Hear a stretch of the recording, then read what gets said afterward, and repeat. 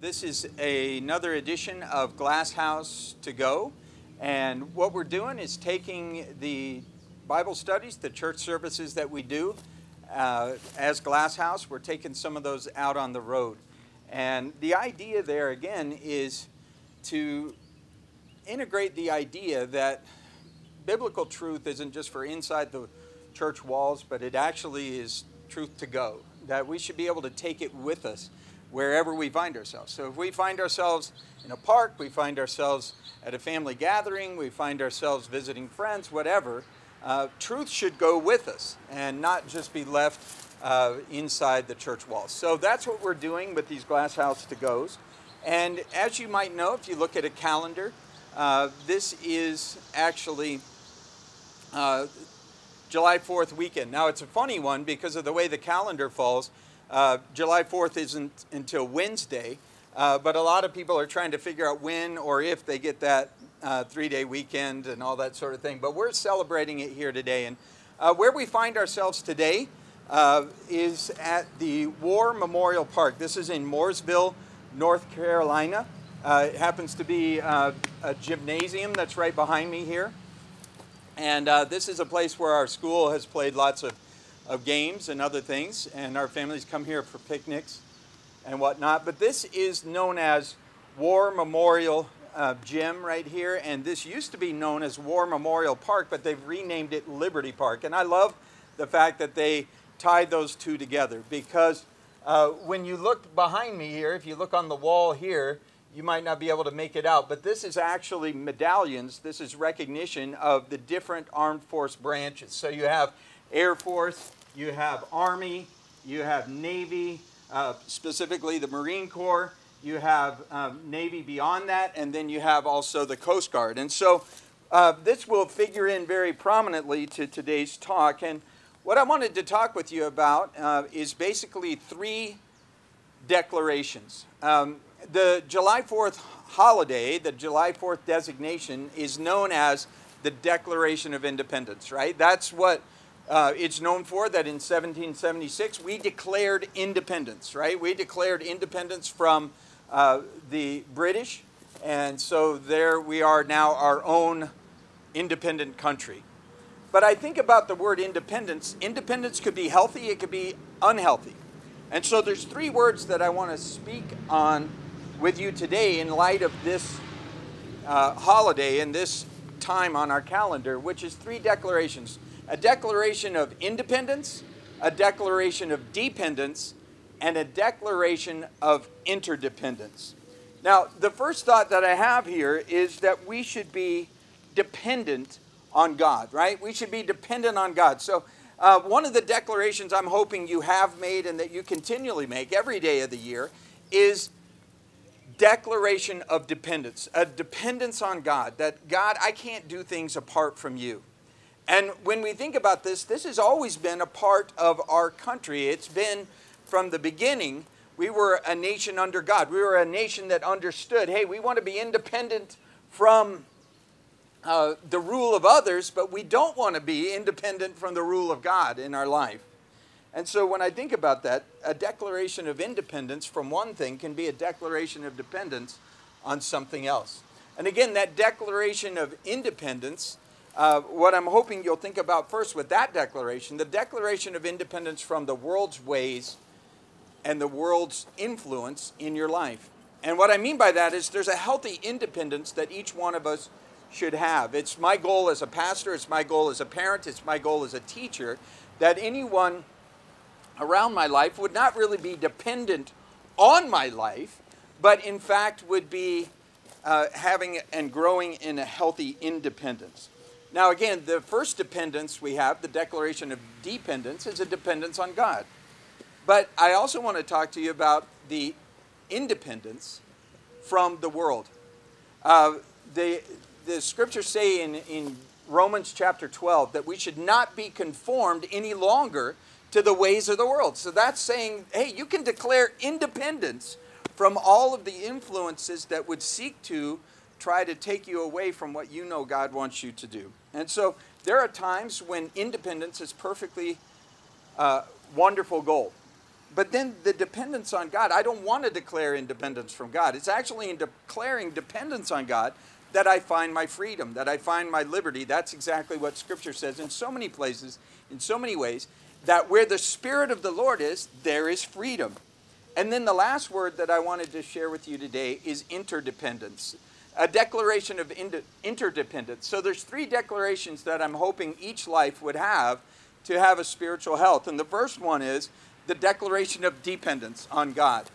But then there's the declaration of independence from the world and its influences on me.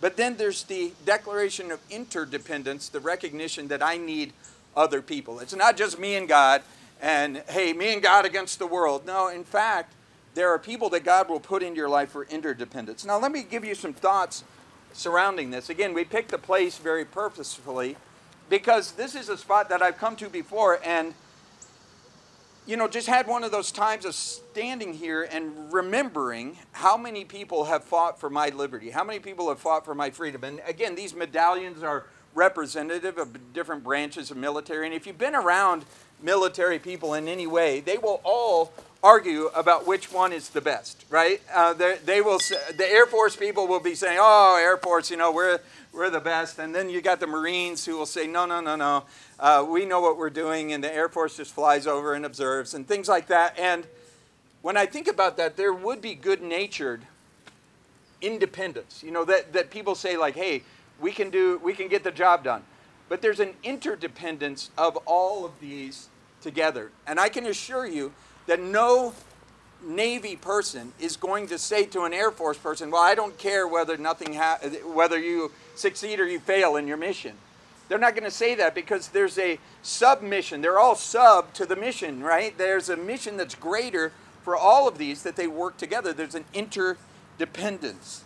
And so each one has a role, each one has a part to play in victory. And so when I think about that again, a declaration of independence includes a declaration of interdependence. It, it has to be that way in my life. If I'm going to have healthy relationships with my wife, with my kids, with my family, with my friends, with my coworkers, with the strangers on the street, whatever it might be, there has to be some degree of healthy independence where I'm not just dependent on everybody to do anything for me, but at the same time, I have to recognize an interdependence in my life. There are things where I can tell someone, hey, you're going to have to depend on God for that. And that's good. They're making a declaration of dependence on God. And each person needs to do that. And so I think about the military branches. That one's certainly one. But I think about it in our own household. And again, my job as a parent, I think, is to work myself out of a job. Uh, my role as a parent is to work myself out of the role of a parent right? And, and what I mean by that is I can declare my kids as dependents, you know, through certain years on taxes and all that sort of thing. But even the government recognizes at some point, hopefully, each human on the planet is moving towards some degree of independent living, some degree of capacity to make their own decisions and deal with their own choices and consequences. And I think about it this way we were reflecting on this that our middle daughter there, Bethany, she actually went off to college at age 17 and a week. She had just turned 17 when she went off to college. It just was the way the calendar fell out. And when we think about that, uh, looking back on it, you're like 17. She was actually, we were living in Florida at the time, and she went to school all the way in, in Philadelphia. And so here's this person who's about to be independent, right? And what we did as parents in the last year that she was staying at home with us, so the you know 16 to 17 range, we actually did some things that some people would think were was absolute insanity, because I actually told her uh, as a as a person in my home, hey, guess what? The last year you're here, it's always been my roof, my rules, but the last year you're here, it's my roof, your rules. Um, and the reason I was doing that is is an attempt for her to get ready for independence, to make that declaration of independence from us as a family, and to do it in the best and healthiest possible way. So rather than asking my permission for anything as a parent in the last year of her time at our house, she actually didn't have to ask for my permission. What she had to do was explain her decision. Um, so all we would do is say, like, okay, you tell me why you think that's a good idea. You don't need my permission to do it. You can do it whether it's a good or bad idea, but please at least involve us in the process. What was that? That was a transition from a declaration of dependence Mom, what should I wear? Mom, should I brush my teeth? Mom, what time should I go to bed at night? Or should I go to sleep at night? And all those types of things to a declaration of independence where, again, our job was to work ourselves out of a job. That hopefully in college, she's not calling us and saying, Hey, Dad, should I brush my teeth tonight? You go, well, just the one you want to keep. Just brush the one you want to keep, which is what I've been telling them since they were kids, you know? And so the goal is, the goal is whether I'm there or not, that the wisdom of adult living has somehow been transferred from the adults to the kids. And when I think about that, this is really the process that God has in each one of our lives. Are we to declare independence from God? I don't need God anymore. No, it's a change in the role and the reason that God relates to us. I think about how Jesus, when he was about to leave physically from the planet, he told his disciples, It's better for you if I go away. And they went like, No, it isn't. I mean, when you're around, we get free food uh, when you're around, uh, like fish have money in their mouth for taxes and all that kind of stuff. How could it possibly be better if, if you go away? And he said, Well, here's what I'm going to do I'm going to send my spirit inside you so that whether I'm beside you or not, you're still going to make the decisions of wisdom that you would have made had I been there physically beside you. And I think about that. That is an amazing thought as a parent and as a pastor. Uh, I, I think of so many things that are going on in our life right now, but part of Glass House to Go is even a recognition that uh, when people have truth in their life, they don't need a personal pastor following them around and making sure that they're always sitting in a seat every Sunday and saying, like, okay, I'm going to transfer truth to you every Sunday in this way. That in fact, uh, I had a friend ask me, well, well, it, it, let's say that you don't have church services and, and somebody's not there. I mean, how are, how are they going to grow spiritually? And I said to myself, well, man, um, I'm hoping that they're growing spiritually in such a way that my role becomes less and less crucial in their life day to day. See, I think back to a pastor who had a great influence on me, and he was a phenomenal guy. He taught for 40 years in the same place, founded a church, taught in that church for 40 years. And when he was going on to do some different things and different people were taking over for him, there was a lady at his church who came up and said, Pastor so and so, you can't go away. I depend on you for my spiritual growth. And that's when he said to her, Well, then I must go away, and I must go away quickly. Because if for 40 years you sat under my teaching and you have no more capacity to go put those things into practice without me there, well, then maybe I've fostered a dependency that isn't healthy. And so when I think about that, again, scripturally speaking, my goal, my desire, so often is that uh, our kids, let me give you another example. Our kids, when they were growing up, uh, I would use I would use these phrases that I was hoping would stick into their mind. And so when they were riding their bike, I would come, we'd come up to an intersection. I'd say, watch for cars, watch for cars, watch for cars. I didn't just say it once, I said it constantly, like I was some kind of machine saying, watch for cars, look both ways, watch for cars, watch for cars. And it's so funny because if I go bike riding with my kids today, they come up to an intersection, they go, watch for cars, watch for cars, mind your, you know, look at, look both ways and all this. I don't even have to be there anymore. And that was part of my goal, is that they would make good choices and good decisions whether I was there or not. And I have less need to be right there saying it over and over and over again. And for me, the ultimate victory is if someday I hear them with their own kids coming up to an intersection intersection saying, watch for self-driving cars, you know, watch for flying cars, or whatever to their kids. And that's when I'll know, ah, my job is complete. My role is diminished because it's actually a wonderful thing when you have that declaration of independence, that healthy independence that somebody has. And so, thinking again about this thought, and I'm wrapping it up here, but I, I think about people who are codependent. They use that as a word in, in psychology and other times, you know, in counseling, family counseling or whatever. Codependent is when two people need each other to go race to the bottom. And what I mean by that, if there's someone who's a liar and there's someone who covers for all their lies, well, each of those people need each other to do what they do, but they do less uh, well because of each other. They're actually helping each other race to the bottom of the barrel. But an interdependence is a positive and healthy thing. And what does that mean? Well, it means that each person understands that we're better together. And I don't have every gift that you have, I don't have every ability you have. And let me read from 1 Corinthians 12. This is such an amazing passage. And it's right before the love chapter. The love chapter is always read at, at weddings, right? 1 Corinthians 13.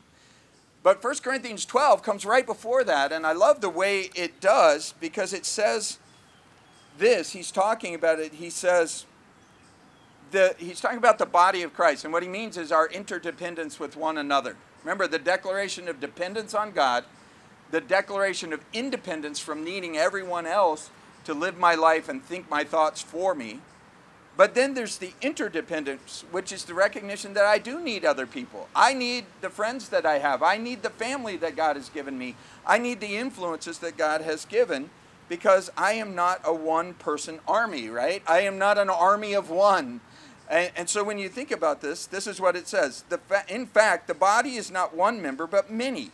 If the foot should say, Because I'm not a hand, I am not of the body, is it therefore not of the body? If an ear should say, I don't know how an ear talks, but it says, Because I'm not an eye, I'm not of the body, is it therefore not of the body? If the whole body were an eye, where would be the hearing? If the whole were hearing, where would be the smelling? But God has set the members, each one of them, in the body just as he pleased. And see what's great about that, it even says that each of the gifts given to different people are given for the common good. What does that mean? That means we're better together. It means we need us, right? That's what it means. It means I need you, you need me in different ways.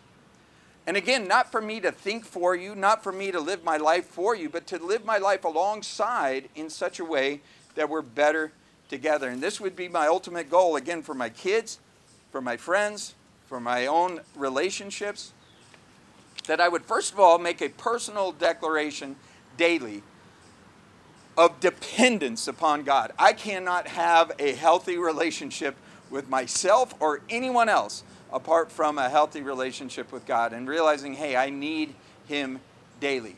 But also at the same time, there's a declaration of independence where I'm like, you know what? I don't need my wife to think for me, or I don't need her to be spiritual for me. I don't need somebody else to think that way. I've, I've tried, we've tried to raise our kids in a way that whether we're there or not, they know God is there. And they know God's word is there in their life, and they can go look at it. And it again is a wonderful thing when they might ask and call or, or have a question. I appreciate them seeking that counsel. But at the same time, it's a wonderful thing when I realized they made a great decision apart from me. They even made a different direction than I might have thought. But wow, look at God lead them. And I love seeing that in a person's life. And then the interdependence, I think this is a big one because, again, it's represented by what we see here. If you want to win the spiritual war, you're not going to do it on your own, you're going to do it alongside others. And when I think about what that means, well, I think about it the unity and diversity. And I can just use my own example with my wife for this. Uh, we, as I mentioned last week, we did the uh, during the during the renovation, got out of the house because hey, there's nothing like seeing the outdoors and realizing the whole world is not a bathroom uh, renovation. You know, you can come out here and go, yes, God's doing a very nice job out here. Um, but one of the things that we do is we have a division of labor. And historically in our in our relationship, here's what it is. I call Lynn the coupon queen, and I mean that in the most honorable way possible. Um, she's my queen, but she's the coupon queen. She can find a bargain like nobody I've ever seen. She is the hunter gatherer in that sense. She goes out and finds crazy things for, for no money. Uh, but here's the one caveat, one problem is that my role in the relationship is to figure out how to get it home and get it connected. So uh, just this last week, she found a tremendous uh, chandelier. Uh, that was, well, I actually found two of them, uh, but found two different chandeliers for our renovation And it was like, these are great. And she got them at a fraction, a tiny, tiny fraction of what something of this quality actually costs. But then she brings it home and basically dumps it there and says, make it work. And, uh, you know, when I, when I think about that, I actually enjoy that. I actually can grumble sometimes about it, but I actually feel a sense of accomplishment because there's a gift I have that she doesn't. She has a gift I don't have. I don't have the gift of finding that thing and finding the fit and having the aesthetic look and going, yeah, that's going to look good in this room. But I can make a chandelier light up. See, and here's the thing if she brought it home and put it in the garage, it's not going to do anything.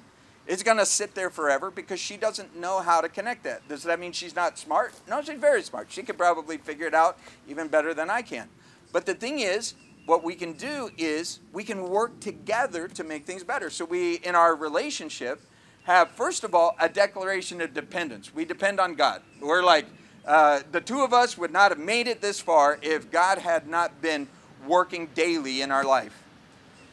And then we have a certain degree of a declaration of independence, a healthy independence. I'm not like every day saying, hey, Len, uh, the, should I put on shoes today? Hey, Len, do you think a shower would be a good idea? Uh, at some point, should be go like, make a decision as an adult, right? But then there's an interdependence in our relationship that we look at it and say, you know what? You have things I don't. Uh, and we're better together. And so if you were to go into our house and turn on that chandelier, it's a team effort. It, the truth is, she found it and I made it light up. But you know what? We, there's still a dependence. I didn't go like, well, I made the electricity. Um, I didn't make the electricity, right? There's people who did things I didn't do and can't do. And so when you realize those three declarations of a healthy life, they're all over the scripture that we would be dependent in the areas we should be dependent. When we should recognize, look, I need God, and without Him, I am nothing that we would have a healthy independence, that we wouldn't be asking or polling every person to find out what we should do or being, you know, decade after decade dependent on spiritual input in our life from some professional when God is like, here's the word. I mean, you've got it too. You've got a Bible. Yeah, look it up, learn it, live it, love it. And those leaders who lead you toward that, see, again, as a teacher, I actually want our students to graduate. That's actually a good thing. I don't want to go like, this kid here has been in my high school class for 25 years. And they go, well, that's not a positive review to me. A positive review is they learned what they need to learn, they lived it, and they're out teaching and making their own great decisions apart from that teacher. And then when I think about that, the interdependence is the recognition that we're better together. And so I hope in July 4th, first of all, you will recognize and remember people who fought for your physical freedom, your liberty, right? Be, if, you, if you know one of them, thank them for their service. But you know what also? God fought for our liberty too. He didn't fight for our, our slavery. He didn't say like, hey, I want you to like live a constrained and, and constricted life. No, in fact, the Bible says that again, God opens up pasture, that there's a narrow gate into truth. Truth has a narrowness to it, but it also has a freedom to it where He says, I, I set you free to, to pasture, to, to, to live your life, to enjoy your life, to make choices that lead to great consequences. And so, again, that interdependence, that independence, that dependence, that's what we're here to do. And before I go, I just wanted to uh, do a quick shout out to. Uh, Guy Gooch, he's a, a, person who has been an enormous blessing to my life and to others. And he watched last week uh, from, from where he was, and he does a lot of uh, work with special needs kids in different places. And uh, again, I can't begin to tell you what an inspiration his life's been to mine. But uh, he actually wrote a note about somebody who he had heard last week's teaching and applied it to his own life, but he said later ran into somebody uh, out in a public place and took the thoughts that he had learned from that and applied them and he ministered right in that moment to this person and then gave her the link and said you should watch this teaching. And she said oh man it was perfect. It was just what i needed. And so again the goal the thought uh, is that these truths would not just be for here uh, even out here but they would be to go that, that your homework assignment would be to somehow assess those three declarations. Are there areas in my life where I need to declare more dependence on God? Um, are there areas in my life where I need to declare more independence from relying on people to do what I am supposed to do? There's plenty in the Bible that says, no, that one's on you. That one's not on someone else. That one's, you need to be independent in your thought on that. You need to declare independence from the world's ways or maybe even undue influence and unhealthy influences in your life. And then the last one is that declaration of interdependence. If you've uh, become one of those people who thinks, hey, it's just me and God and that's all I need. Uh, that's not what God's Word says. That's not what God's Word teaches, that we do need each other and we're better together. So look for all three of those declarations in your own life and don't just take it for here, take it to go. God bless.